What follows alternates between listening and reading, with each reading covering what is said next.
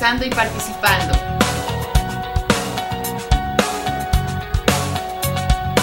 Soy papá y participo. Soy mamá y participo.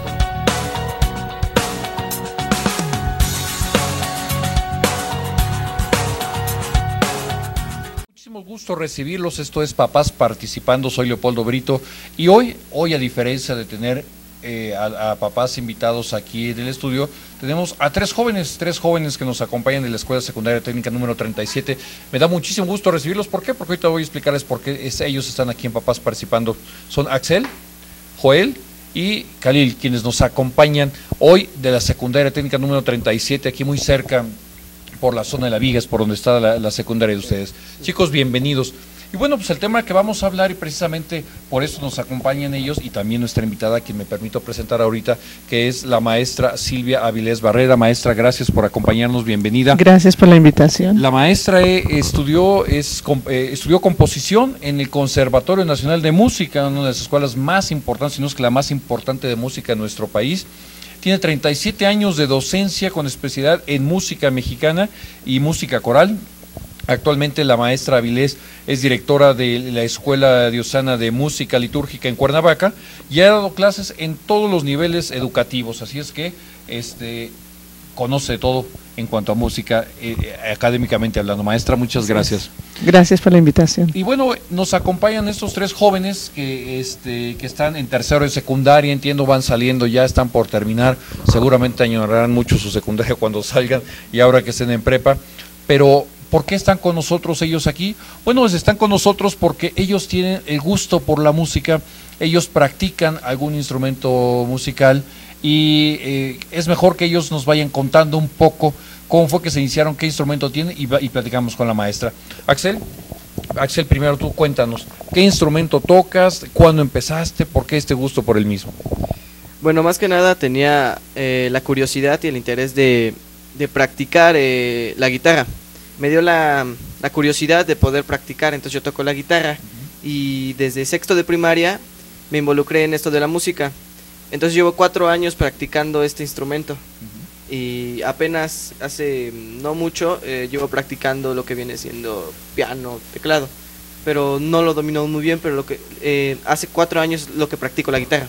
¿Te gusta la guitarra? ¿Es la que más te gusta o prefieres alguno de los otros instrumentos o te estás diversificando para ser un hombre orquesta? Este, pues prefiero más la guitarra, pero si fuera un hombre orquesta sería lo mejor, o sea, sería lo máximo. Ok, bien. Por acá ah, este, tenemos a Joel. Joel, ¿cómo estás? Bienvenido también. Gracias. ¿Qué instrumento es el que tocas y desde cuándo? Ah, bueno, yo he estado aprendiendo a tocar eh, teclado, piano, eh, y me llegó el gusto desde muy pequeño. Tenía el- eh, desde muy pequeño tenía el gusto de tocar un instrumento y me llamó mucho la, aten- la atención el piano. Entonces, hasta apenas hace más o menos un año he empezado a tocar el teclado. Sí, Bien. pues me ha gustado, me, me- me ha llamado mucho la atención. ¿Te has enfocado 100% en, en este instrumento? Sí, no es otro, un otro instrumento, yo creo que no. No, no lo harías, te sientes más seguro de esto. Bien. Sí. Cali, ¿tú qué instrumento tocas? Eh, llevo tiempo practicando la guitarra y la batería la estoy apenas iniciando. Iniciando. ¿Y desde cuánto tiempo? ¿Cuánto lle- llevas tú en ello? En la guitarra llevo ya casi seis años. En la batería llevo apenas este año. Y eh, me quiero empezar a iniciar en el piano. también. Ah, qué bien. Bueno, yo no me quedo atrás, yo la puerta y el timbre también los toco, también para no quedarme atrás junto con ustedes, porque aquí hay buenos especialistas. Pero sí es, eh, es interesante esto que ustedes están haciendo, porque precisamente sobre esto vamos a platicar eh, con la maestra y obviamente también con ustedes, porque eh, en principio, bueno, supongo que se han de convertir en el alma de las fiestas cuando de repente, oye, tócanos algo. Entonces terminan ustedes convirtiéndose en el centro de la fiesta, en una parte importante de cualquier fiesta, porque la música siempre nos está uniendo, ¿no? Supongo que por ahí les, les toca un poco a ustedes, ¿no, chicos? ¿Sí? Sí, nos toca de repente, no sé, los familiares, ah, tú tocas la guitarra, ah, pues toca la canción y de repente ya eres el centro de atención, se podría decir, para, para la fiesta, ¿no? O sea, pones, impones ahí. Amenizarlo. Ajá, exacto. O sea, empezamos con las mañanitas y nos seguimos con otra cosa. Maestra Silvia Vilés, ¿qué importancia tiene la educación musical en los jóvenes, en nuestros hijos? Por supuesto, estos jóvenes ya están en secundaria. Ellos nos manifiestan que han iniciado poco antes de la secundaria su inquietud. es normalmente en la secundaria cuando la, la educación musical empieza a formarse, pero ellos dicen que ya desde antes, entonces, e- e- ¿esto qué importancia tiene en la formación? Bueno, yo considero que la formación musical es básica desde preescolar. Eh, los proyectos de la SEP proponen música desde preescolar, primaria, secundaria, preparatoria, aunque no se llevan a cabo en todas las escuelas de, México, es básico. El arte de la música desarrolla aspectos cognitivos, aspectos sociales, aspectos también de conocimientos del arte. Entonces, una persona que ha desarrollado la música desde pequeño va a tener una capacidad mayor para las matemáticas, para la física, para la concentración, para socializar y además va a ser el alma de la fiesta. Bueno, ya nos lo explica un especialista. Ustedes díganme, ¿esto sí se ha dado? ¿Sí, sí se han- ¿Ustedes se han este, percatado en esto en alguna disciplina en particular? ¿Cuál es la disciplina ya dentro de las materias en las cuales a ustedes, de alguna manera, la música les ha ayudado en esto que nos comenta la maestra? Eh, bueno, socialmente sí es una herramienta bastante útil. Eh, por ejemplo, en primero tuvimos la oportunidad, bueno, sí, el maestro de artes nos dio la oportunidad de participar en una pequeña banda que él estaba organizando. Ujú. Entonces, este, realmente socialmente te ayuda mucho porque conoces nuevas personas, eh, te relacionas con ellas ya a un nivel más íntimo. Y bueno, para conocer personas yo creo que está muy bien. Yo realmente lo tomo como hobby, pero es algo que ya de repente me apasiona bastante. Ujú. O sea, se convierte en, un- en una disciplina muy importante. Ahora, esto tiene un sentido porque además la, la música tiene que irse eh, eh, mostrando eh, poco a poco, porque además es un arte. También a final de cuentas eh, estamos llevando una disciplina que la parte técnica y científica la llevamos a través de la formación académica, pero ustedes están envueltos, envu- envueltos perdón, en un tema artístico. Entonces, ahí juega un papel todavía eh, superior, ¿no es así, maestra? Sí, la música es un arte y como todo arte tiene técnica. Entonces hay un cómo se hace. Es muy importante empezar a desarrollar en los niños de preescolar la parte rítmica. Y ya a partir de la primaria, la parte sonora a través de la voz. Es muy importante que los niños desarrollen su voz, que aprendan a leer la música y que conozcan de música. Generalmente los jóvenes solo conocen lo que la radio les presenta como la moda, pero la música no se inventó ayer. Así que tenemos un gran historial de música y en nuestro país, en México, tenemos música escrita de la cual podemos hacer referencia desde el siglo XVI para acá. Ahora, esto que dices es muy importante porque efectivamente todo mundo, por supuesto los jóvenes más, nos, este, se empiezan a inclinar, todos nos inclinamos por la música comercial, lo que escuchamos en la radio, vemos en los programas o por supuesto tenemos ahí en el internet. Pero, ¿cuáles son sus inquietudes? ¿Cuál es la música que les gusta? Por ejemplo, a ti, Axel, ¿qué música te gusta? ¿Es de toda? ¿Hay una en particular? Eh, en particular me gusta el rock. El rock, sí. Sería mi género favorito. Tú eres Elvis Presley. No, no sería Elvis Presley, pero o sea, me, me gusta escuchar ese tipo de música. ¿En inglés o en español? Eh, de los dos, pero me, me atrae más el de inglés. ¿Cantas? Este, no, no, bueno, depende. De repente luego estoy tocando la guitarra y de repente canto, así. Pero así que me dedique a cantar, no. Ok. En el caso de ustedes, Khalil, este, ¿qué música, qué género es el que a ti más te gusta? Eh, últimamente me he interesado bastante en el lounge, es creo un subgénero del jazz. El bossa nova me gusta bastante. Eh, rock igual, desde pequeño me han inculcado el rock. Este, últimamente también me está interesando la música clásica. Mm, también, no sé, hay un subgénero del rock llamado surf, igual me gusta bastante. Y bueno, ¿Y en el caso tuyo, Joel? Ah, bueno, a mí en general toda la música, exceptuando la, la nueva generación, ¿no? Las nuevas bandas, este, reggaetón, todo, todo eso como que no, No, no es lo tuyo. no es lo mío. Ok, bueno, cada quien lo, lo va teniendo ahí. Ahora, ¿qué se enseña en la escuela? ¿Qué es lo que debemos ir conociendo primero? La teoría, la historia, la evolución, porque además también la música juega un papel muy importante.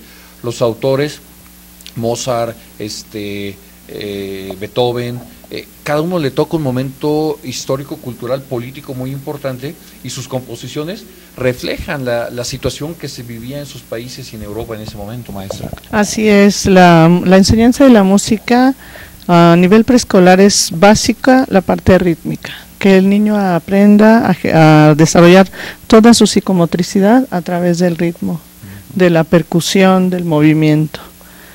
Y bueno, también dentro de lo que es preescolar se trabaja el canto a través del juego. Ya en la primaria se pueden hacer cantidad de cosas porque el niño está en un desarrollo total y entonces eh, la práctica coral es básica. Es muy importante que en, a nivel primaria se dé práctica coral, que los niños aprendan a cantar a, una y a dos voces en coros. A la par el desarrollo de, de un instrumento. Se acostumbra en nuestro país el tocar la flauta de pico o flauta barroca. los muchachos le dicen la flauta de secundaria, pero es una flauta barroca. Porque desarrolla la psicomotricidad fina, desarrolla la atención y desarrolla la posibilidad de trabajar en grupo. Y lo que nos promueven los programas para secundaria, pues ya es el organizar pequeños grupos, grupos de pequeñas bandas o pequeños coros. Ayuda mucho al joven de esta edad, de secundaria, a tener una integración dentro del grupo. La música es básica para ser un una persona completa. El sonido se recibe a través del oído. Nosotros en estos tiempos somos personas visuales, poco auditivas. No somos propensos a escuchar. Todo lo que sean pantallas lo podemos ver, pero si escuchamos después no recordamos. No tenemos esa habilidad. Y yo creo que hay que desarrollar la habilidad de escuchar entonces ya a nivel secundaria creo que es muy importante dividir en tres áreas grandes, que es la parte histórica de la música básica, la parte técnica, que es todo lo que es la lectura y, la escritura, y la parte de ejecución, que sería el canto y el instrumento. Yo lo dividiría de esa manera. También es muy importante que en nuestro país se enseñe la música mexicana algo que desconocen la mayor parte de los jóvenes. Desde música prehispánica también, ¿no? No tenemos música prehispánica, pero sí tenemos instrumentos prehispánicos. Y la mayor parte de los jóvenes en México no conocen la música mexicana, no, no han escuchado, por ejemplo, alguna pieza del siglo XVI, que tenemos muchísima música del siglo XVI, de tiempos de la colonia del siglo XVII, no conocen a los grandes autores mexicanos, del periodo romántico o del siglo XX. Hemos generado una gran cantidad de músicos excelentes y los actuales músicos, grandes músicos de orquesta, grandes músicos compositores eh, que tienen pues cantidad de obras que no se escuchan en la radio. Los jóvenes generalmente se van por los géneros venidos de otros países, especialmente de Estados Unidos, pero es básico que conozcan la música mexicana, porque genera identidad. ¿Ustedes conocen algo de música mexicana? No, desconozco un poco del tema, no conozco muy bien. ¿Qué es lo que más conoces de música mexicana? Mm, es que de música mexicana mm, casi, o sea, como la no, no conozco mucho la música mexicana del siglo XVI, a partir del siglo XX, a partir de ahí no, no conozco la música mexicana. solo, solo del siglo XX, algunas cosas, quizás baladas o lo más reciente, ¿no? Es lo que, ya derivaciones, ¿no? De, de, lo que se estaba... Música comercial, pero lo que no es comercial no generalmente no lo conocen. Y yo creo que es básico, porque eso genera identidad y genera la capacidad de amar a México.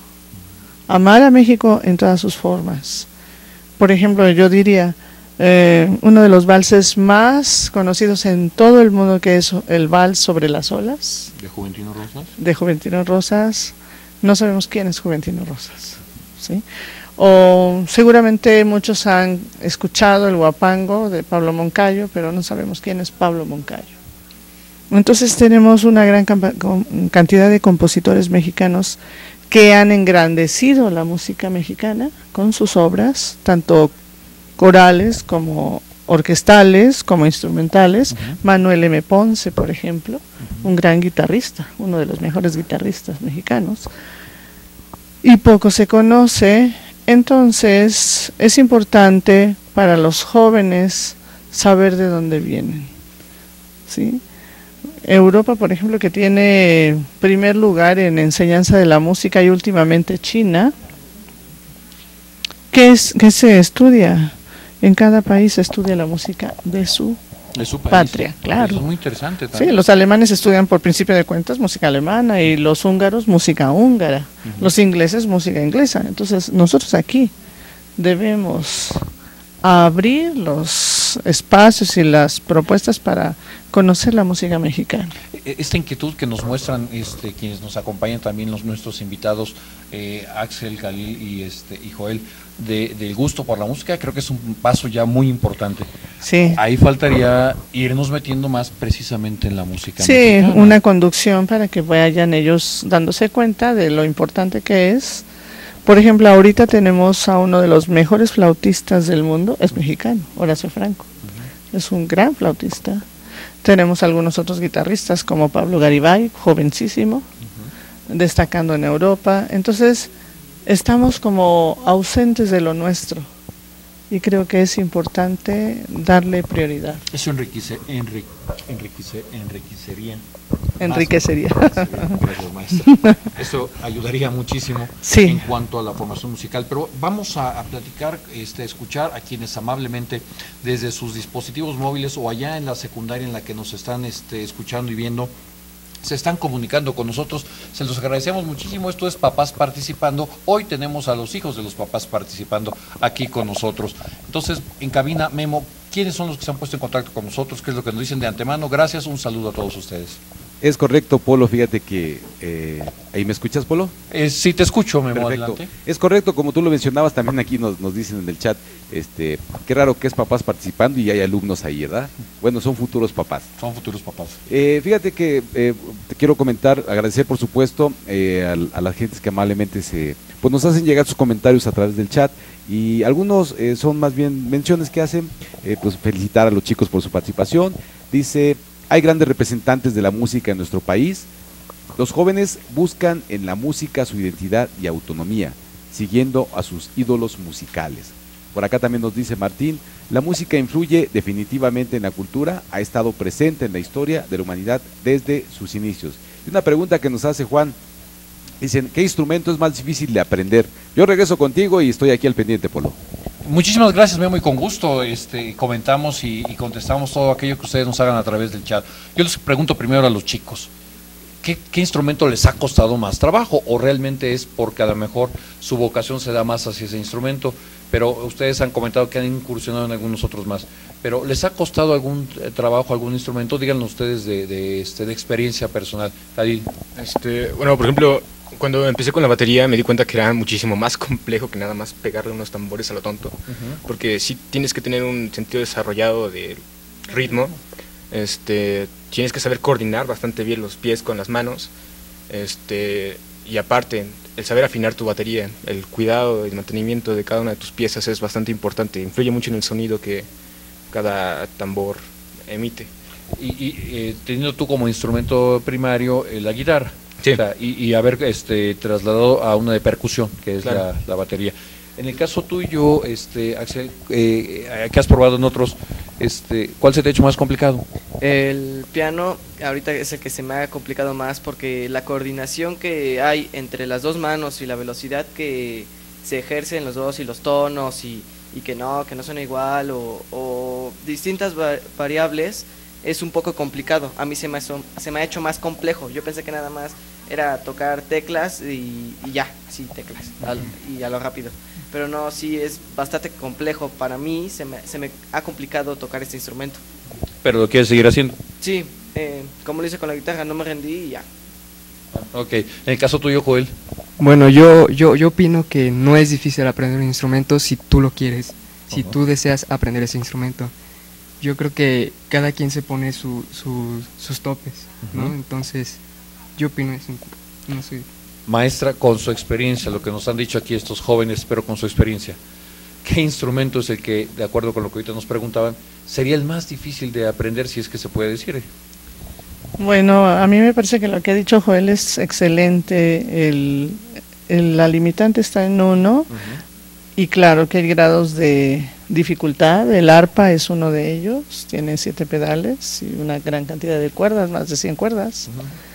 El oboe por la lengüeta y Bueno, pues lo- el- tenemos acceso de manera más popular a la guitarra porque es un instrumento español que se ha quedado entre nosotros como, como un instrumento de familia. Y el piano, que tiene obviamente grados de dificultad. Eh, empeza- si empezamos con una buena técnica y con una buena digitación, vamos a ir avanzando. Necesitamos siempre de la técnica no nada más del sentido del oído. Está el sentido del oído y está la técnica. ¿Quien toca está obligado a cantar o no? Si quiere hacerlo bien, sí. Sí. Sí. ¿Ustedes cantan, chicos? Cali, En ocasiones nada más. en ocasiones. Sí, ya mi, mi papá también me estaba inculcando el hecho de meterme en una escuela para canto. Ajá. Así que también es bastante importante para complementar ya el hecho de que toco la guitarra. ¿Y, y si cantas algo? No, la verdad, ahorita canto terrible. Cantas terrible todavía, pero al rato las chicas van a estar pidiendo que les cantes algo. Quizá. Quizás sí. Bien, en el caso tuyo, Axel. Pues, por ejemplo, en mi caso cuando mis familiares me piden tocar una canción, eh, me debo de saber la letra. Entonces tengo que cantar. No digo que canto mal o canto bien porque pues no yo no soy para juzgarme, ¿no? Tendría que ver a alguien experto en decirme, "No, ¿sabes qué? No estás eh, llegando al tono, no estás dando bien los agudos o, o así." Entonces, yo creo que mm, sí no tengo la experiencia en el canto, pero cuando se da la ocasión sí llego a cantar. Ah, qué bien, en el caso tuyo, Joel.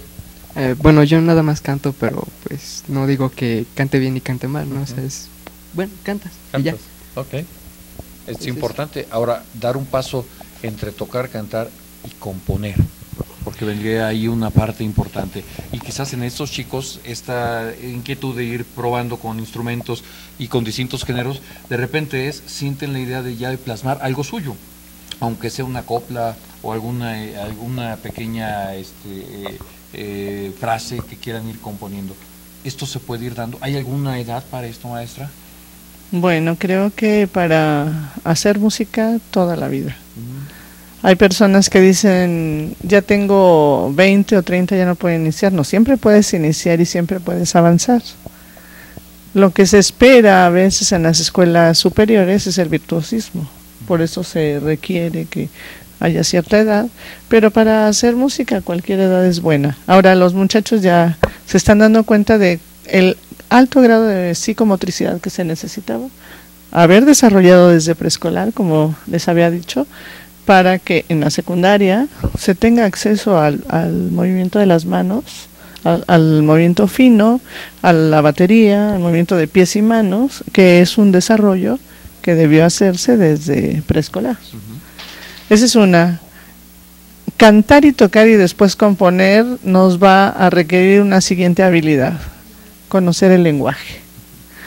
Tenemos, dicen los jóvenes, hay música que no nos gusta como el reggaetón. Bueno, hay música actualmente que denigra personas como el reggaetón porque tiene un lenguaje sumamente vulgar. Entonces, para que un joven pudiera componer algo bien hecho, requiere de conocer la lengua, la lengua castellana, la lengua que habla. Entonces, eso ya nos da un plus. La música nos ayuda no nada más a la concentración, a la sociali- socialización, al desarrollo de la psicomotricidad, al desarrollo del cognitivo, sino también al desarrollo del lenguaje. Entonces, creo que es muy importante el estudio serio de la música. El estudio serio de la música no quiere decir que no vas a que te vas a dedicar a ello, sino que el estudio serio de la música quiere decir que ese estudio que hagas dos, tres, cuatro años y lo haces en serio, te va a desarrollar como persona. Darle la misma importancia que tiene como los planes de estudios la química, las matemáticas o la historia. Inclusive la, la parte deportiva también, la, la Claro, deportiva, claro. también la música juega un papel importante en la formación con, con nuestros jóvenes. Claro, porque eh, nos hace más completos. El- así como el deporte desarrolla habilidades físicas, la música en su primera parte desarrolla la psicomotricidad. Entonces, y, y, por ejemplo en, en la parte de la composición desarrolla el lenguaje, estamos utilizando una gran cantidad de conocimientos o de potencialidades para que al final de cuentas esa persona sea una persona completa. ustedes chicos, cuando empiezan a tocar, cuando están en estos, ya sea en eventos sociales, familiares, etcétera, no se presenta el caso de que alguien se les queda viendo, un amigo, una amiga, les gusta cómo lo hacen y, y- y ustedes han sido eh, motivo, detonadores para que empiecen a tocar algún instrumento y se acerquen para que alguien los recomiende, Khalil. Este, sí, por ejemplo, en la primaria, cuando inicié, eh, llegado a sexto grado, eh, una vez la maestra me pidió que medio le diera un curso pequeño de guitarra a mis compañeros. Entonces, por ejemplo, de ahí también, se, bueno, no sé si fue, si fue motivación, pero Axel también se metió conmigo en ese momento. Eh, otros tres compañeros, este, igual les tuve que enseñar. Y, pues bueno, yo creo que en esa parte sí influimos bastante. Yo fui influenciado por mi tío. Este, yo vi que era una forma de, de desestresarse. Este, y entonces, como hobby, yo creo que es algo fundamental aprender una- un instrumento musical, porque aparte es bastante, es muy, muy relajante y bastante, eh, no sé, nutritivo. E- e- Este punto que acaba de tocar me parece muy importante. Un día me tocó estar en una reunión de este, unos médicos, entre ellos estaba el ginecólogo de mi esposa, y toca la batería. Y todos los que estaban tocando eran médicos. Y entonces me llamó mucho la atención que todos eran médicos y estaban tocando ahí. Y entonces eh, decía uno de ellos, no sabes qué relajante es tocar la música. Que, háblenos un poco más de esta parte, maestra, en cuanto al papel que en este juega también la música. Bueno, la música como además de ser un arte y además de ser una técnica, también es un medio de diversión, porque es un medio de socialización. Entonces, eh, el poder socializar a través de la música con otras personas y tener eh, guardados o una serie de conocimientos que nos permiten, una serie de conocimientos interactuar. con el sonido, pues nos divierte, nos relaja, nos anima. Y pues es bueno, por ejemplo, este grupo de músicos no necesariamente son músicos de profesión, sin embargo saben tocar instrumentos, saben cantar y tienen momentos de esparcimiento juntos. En esa interacción que se da no lo da otro arte más que la música. Más que la música. Ahora, para empezar, estamos en la escuela, estamos en la secundaria y usted nos comentaba que el, el instrumento que normalmente se utiliza en la secundaria es la flauta barroca, por donde Ujú. todos este, comenzamos, to- este, tanto tocando como también eh, haciendo algo de solfeo, Claro, que sí. era lo que nos enseñaba. No sé si aquí a los jóvenes la flauta barroca les llamó la atención, les costó trabajo o les fue fácil, simplemente fue un instrumento que había que pasar y, y- y lo- pasaban bien, este, me refiero sin ningún problema. Este, yo sí tuve problemas, no era muy bueno para eso, o sea, era como camotero me tocaba esos problemas, yo sufría con el tema de la música y me encanta la música, ¿no? Pero, pero no daba con eso. Entonces, empezar, empezar por la flauta barroca es la recomendación porque pedagógicamente o didácticamente en los planes de estudio de nuestras escuelas está el- la flauta y de repente se acompaña con algún otro instrumento. Así es. El uso de la flauta ha estado bien planteado, eh, parece ser que se introdujo en 1940. Es interesante porque desarrolla habilidades finas. Desarrolla, eh, me he topado con jóvenes de secundaria cuando empezamos a tocar la flauta y que yo digo mano izquierda arriba, mano derecha abajo, no lo no se han dado cuenta ni cuál es la izquierda ni cuál es la derecha.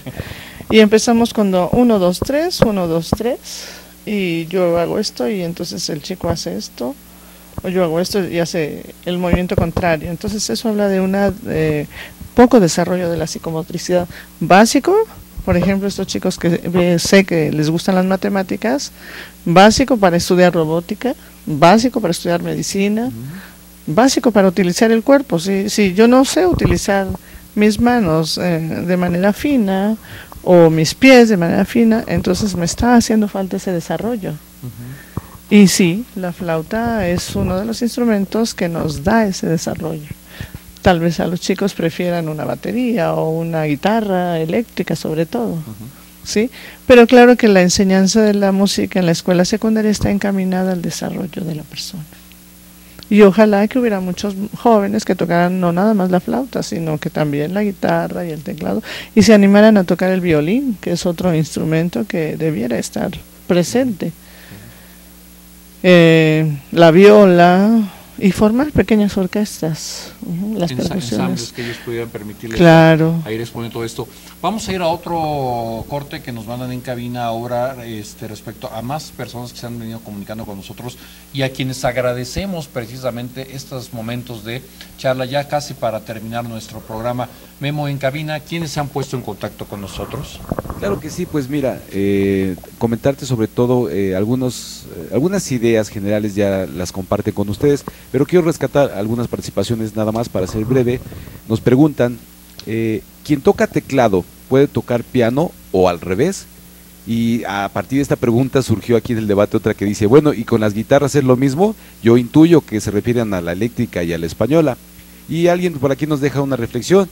Dice, aunque hay casi tantos tipos de música como países, regiones o pueblos, la música es para disfrutar. Yo regreso contigo, Polo. Cómo no, muchísimas gracias Memo. Este, definitivamente esto los chicos nos lo han confirmado y la maestra por supuesto que también. La música es para disfrutarse y además juega un papel histórico-cultural muy importante en la identidad de los pueblos. Pero ya los chicos nos han dado un poco de su experiencia, pasar de un instrumento a otro, de la guitarra a la otra, este, del teclado a, a un piano. ¿Es esto posible, maestra? ¿Es complicado o requiere un poco de atención? Sí es posible y sí es complicado. Sí es posible, pero requiere de eh, conocer. El piano es un instrumento de percusión, las teclas son más duras, los teclados son digitales. Entonces, a veces es lo que pasa, que empiezan a tocar teclado con una suavidad y cuando tocan el piano no se oye nada. Les falta toda la parte de percusión, ¿sí? La guitarra, lo mismo, es desarrollar la habilidad con la mano izquierda, con la mano derecha. Y sin embargo, la guitarra eléctrica requiere de otras habilidades para utilizar el plectro o la uña que le llaman y, y todo el, el género de sonidos que se pueden lograr eléctricamente, ¿sí? El límite, como dijo Joel, lo pone la persona, ¿sí? La persona dice, yo nada más quiero cantar tres canciones o quiero ser un gran guitarrista. No está peleado con tener otra carrera, nunca. El desarrollo de la música lo puede llevar la persona a niveles grandes independientemente de que esté estudiando otra carrera. O puede llevarlo a la persona como una carrera profesional. Sí, ya tenemos aquí en México eh, carreras a nivel licenciatura y maestrías en música, en la Escuela Nacional de Música de la UNAM, en el Conservatorio Nacional de Música. Y en los estados de, la, de toda nuestra república ya casi todos los estados tienen conservatorios. Además de las de las academias privadas que hay para aprender, Claro. también las casas de cultura ofrecen también eh, música, ya sea a través del canto y a través de algún instrumento básico para, Claro para que sí. poder iniciar. Bueno, pues estamos llegando ya prácticamente al fin de nuestro programa, papás participando. Agradecemos muchísimo la participación de cada uno de ustedes y no quiero terminar sin antes este, escuchar una conclusión y un comentario final de quienes nos han acompañado aquí, tres jóvenes que son este, futuros artistas, este, son artistas, pero quizás alguna promesa importante aparte de la robótica que nos comentaban antes, también por ahí podamos encontrar algo que son precisamente Axel, Joel y, Jalil, que, vienen de la Escuela Secundaria Técnica número 37. Axel. Eh, pues yo lo que quiero agre- lo que quiero agregar es que si alguien quiere aprender un instrumento a tocar cualquier instrumento el que sea que lo haga porque en realidad es algo satisfactorio y, y prácticamente si lo practicas es como un, un don un don que te da al, al practicarte es como un hobby y si lo practicas y lo tienes bien dominado puedes llegar a ser un gran artista hasta no sé por ejemplo un guitarrista puede ser el mejor guitarrista no solo de México sino tal vez del, del mundo Bien, muchas gracias. Eh, Joel.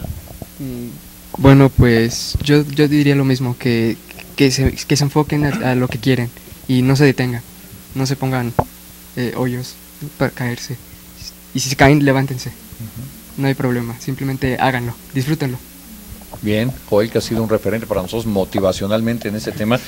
Te- no, te lo agradecemos porque tu experiencia junto con ellos no- nos da esa parte importante para invitar a más compañeros tuyos a hacerlo, que, que si se caen, eh, no se caigan con el instrumento, mejor cáiganse solitos y ya cuiden el instrumento y después ya se vuelven a levantar. Khalil.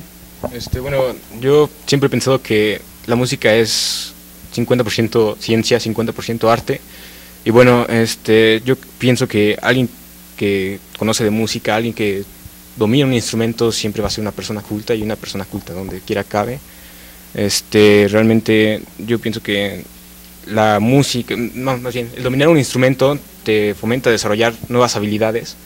Es, como decía la maestra, eh, desarrollas este, más bien agilidad mental, tanto en motricidad fina como motricidad gruesa. Entonces, sí, yo creo que es algo elemental que alguien sepa tocar un instrumento. Bien, no, pues yo creo que lo que hemos escuchado de ellos es verdaderamente extraordinario. A mí me ha dejado sorprendido esta, esta parte. Este, me, ha gustado muchísimo eh, poderlo haber compartido con ustedes. Maestra Silvia Avilés, quien es especialista sobre todo en composición de la Escuela Nacional de Música del Conservatorio Nacional. Muchísimas gracias por estar con nosotros. Gracias por la este, invitación. Eh, ¿Qué puede decirles finalmente a los papás y a los chicos que nos están escuchando y viendo sobre la importancia que tiene la música en su formación? Bueno, yo les diría a los papás, fomenten el estudio del canto y de la, del instrumento en sus hijos. Eh, quítenle tiempo a la televisión y añádanle tiempo al estudio de la música.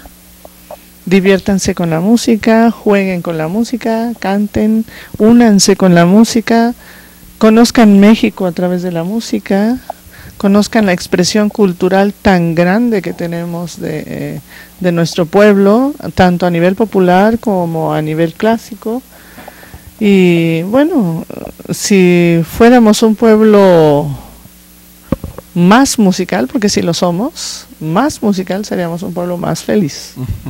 Pues bien, pues esa felicidad que nos comenta que nos puede dar eh, la música, es, eh, es muy importante que podamos como padres de familia, como maestros, seguir fomentando y robusteciendo en los trabajos académicos, pero también más allá de las aulas, como usted bien lo mencionó, para que esto pueda trascender y convertirse en una cultura de nuestra nación que ya lo tiene, pero que hay que reforzarlo como otros países lo vienen haciendo con sus habilidades.